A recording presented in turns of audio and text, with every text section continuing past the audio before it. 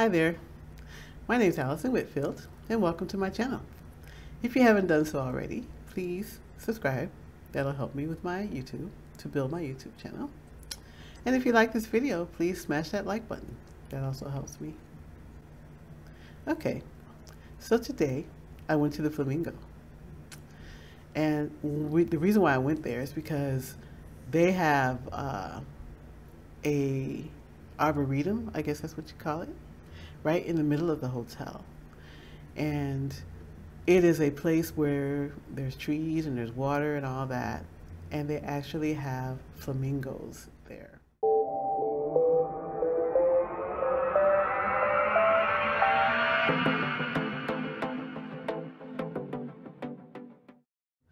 It's definitely nature. It's totally different from the Bellagio. When I went to the Bellagio, as you know, you've seen that video, I um, the problem with that I had with the Bellagio was because I was thinking I was going to a botanical gardens. I was thinking it was going to be in nature, and it kind of disappointed me. So I figured the flamingo is probably going to be something like that. But that's, I, I thought I'd go anyway just to show you what it's like. It was totally different, totally different.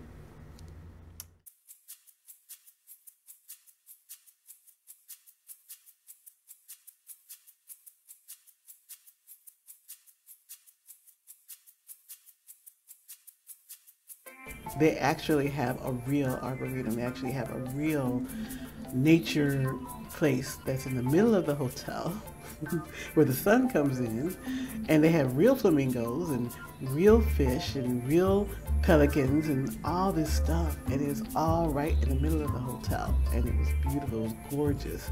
There wasn't that many people there, well there was, but because of the way that it's situated, you really don't see a lot of people because you're walking in and out and amongst the trees and going in and out and seeing the different waterways where they got rainbow fish in there huge like fish in the water and they got waterfalls and then they had the flamingos and there was somebody out there who was actually feeding the pelicans and, and all that. It was just great.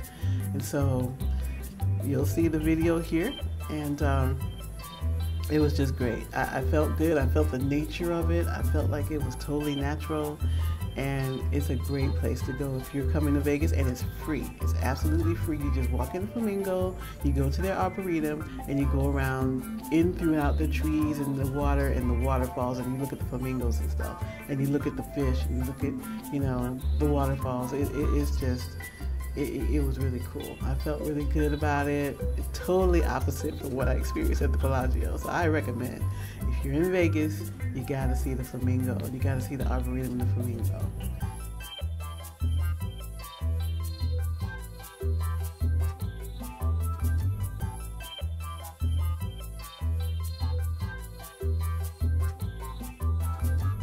As I walked through there, you know, um, you didn't really feel the crowds. You really didn't feel like it was fake, like I felt at the Bellagio. I did feel that it was fake at the Bellagio. It's totally real, and the best part of it is that it's free.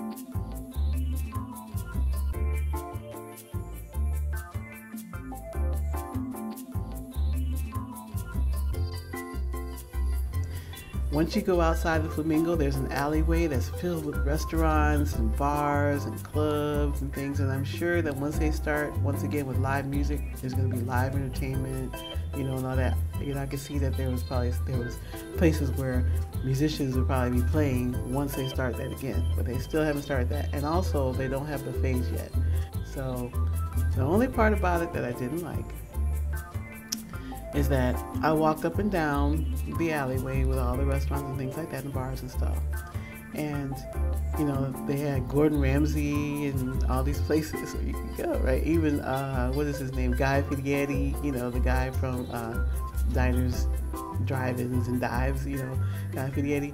He had his restaurant there. Gordon Ramsay had his restaurant there. So, and when you look at their menus, they have the menus displayed outside, you know, but you don't see any prices. so you know it's expensive. It's very expensive.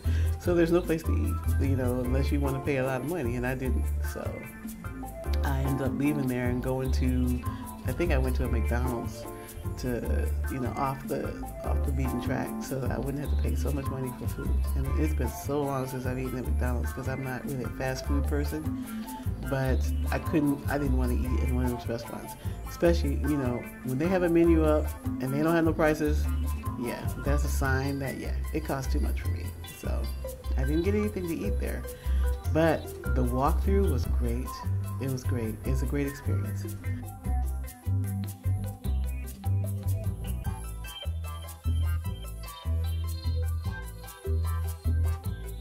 So here is the uh, flamingo, and, and, these are the, the videos as you see them now that I saw while I was there, and it was a great time.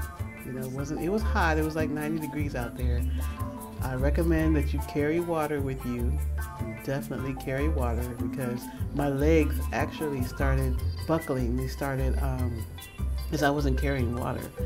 And so my legs started, you know, getting Charlie horses in them because I didn't have enough water. So I had to sit down for a while and drink some water. But other than that, it was a great time. So I recommend if you go to Las Vegas, if you come to Las Vegas, and you want to see nature right on the strip, you know, go to the Flamingo and go into their arboretum, and it is great. So, anyway, that's my take on the Flamingo. And uh, Thanks for watching, and you have a great rest of your day. Take care.